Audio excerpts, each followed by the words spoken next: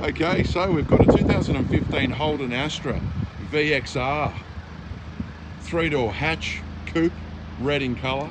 She's only travelled 39,000 kilometres in a six-speed manual. Massive set of alloy wheels, everything's factory. The car presents like new and good value at 24,999. I think they were retailing at 40,000 brand new. So we've the cruise control Bluetooth on the steering column there. There's your dash there, 39,000 Ks.